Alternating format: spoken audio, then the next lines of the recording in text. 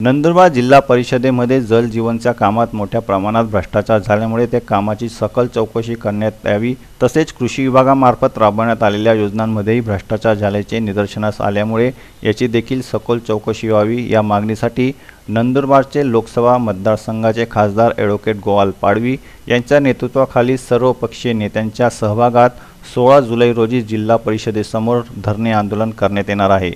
या आंदोलनात शिवसेना शिंदे गट राष्ट्रवादी काँग्रेस अजित पवार गट काँग्रेस राष्ट्रवादी काँग्रेस शिवसेना उद्धव बाळासाहेब ठाकरे गट यासह मित्रपक्ष सहभागी होणार आहेत. जिल्हा परिषदेत जलजीवनाच्या कामात मोठ्या प्रमाणात भ्रष्टाचार झाला असून वीस टक्के कामे झाली असताना देखील संपूर्ण बिले काढण्यात आलेली आहे.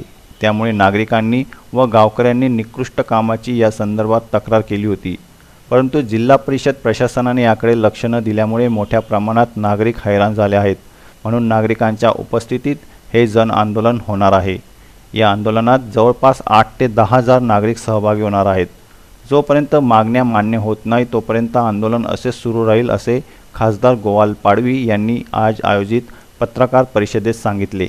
यावेळी माजी आमदार उदयसिंग पाडवी शिवसेना शिंदे गटाचे जिल्हा प्रमुख राम रघुवंशी माजी जिल्हा परिषद उपाध्यक्ष जयपाल सिंग रावल यांच्यासह सर्वपक्षीय नेते उपस्थित होते. या आंदोलनात भाजप सोडून सर्व पक्षीय नेते सहभागी झाले. जिल्हा परिषदेचे अध्यक्ष हे भाजपचे आहेत. त्यामुळे आंदोलन भ्रष्टाचाराविरुद्ध आहे की भाजप विरुद्ध आहे असा संभ्रम नागरिकांमध्ये निर्माण झाला आहे.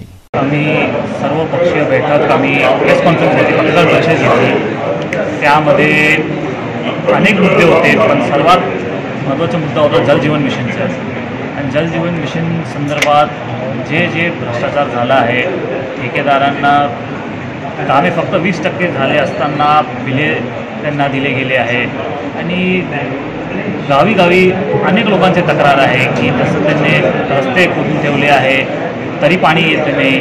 पाईपलाईनचं पाईपलाईन करून ठेवली आहे पण स्रोत माहीत नाही सोर्स माहीत नाही. असे अनेक प्रश्न आहे. तीस चोपनचे मोठा प्रश्न आहे.